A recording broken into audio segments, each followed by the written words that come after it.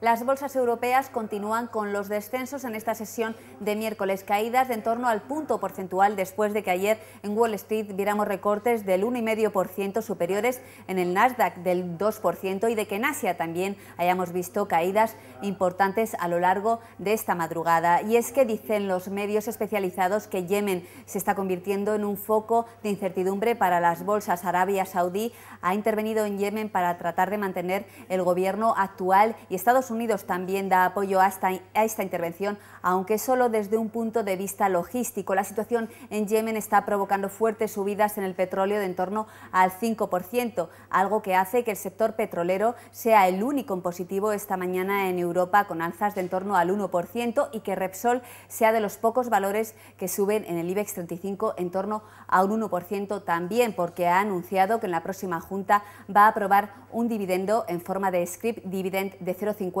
euros por acción. En cuanto al IBEX 35, se deja en torno a un 1% y dice nuestro experto César Nuet que tenemos que estar pendientes de esos niveles que marcó el lunes, los mínimos, en los 11.364 puntos.